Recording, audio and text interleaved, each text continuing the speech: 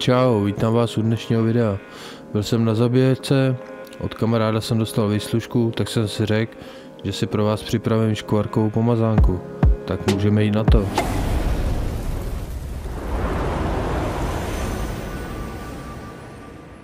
Škvarky si semeleme na mlinku, elektrickým, ručním, to je jedno. Já jsem měl ručo,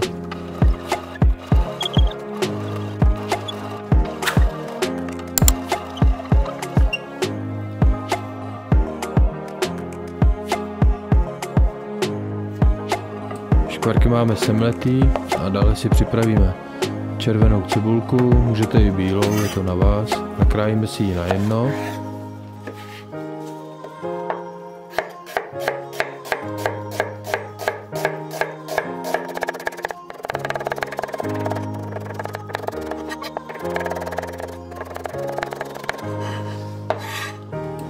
Kyselé okurky, ty si nakrájíme na malé kostičky.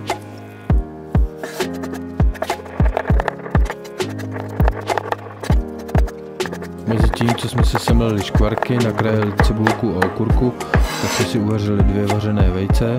Ty si teďka nastrouháme na hrubo.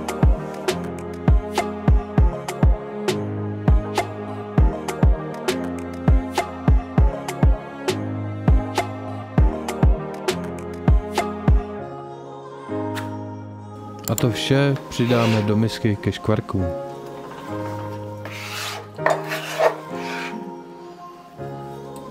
A dále přidáme plnotučnou hořtici, osolíme, opepříme a pořádně zamícháme.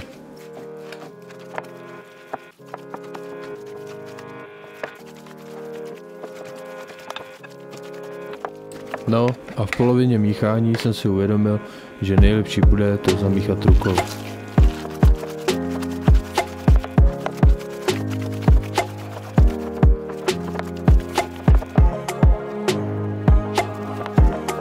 Všechno zamíchané, důkladně propojené a teď už jenom namazat na chleba, ozdobit, já jsem nadal cibulku, okurku a můžete se do toho pustit.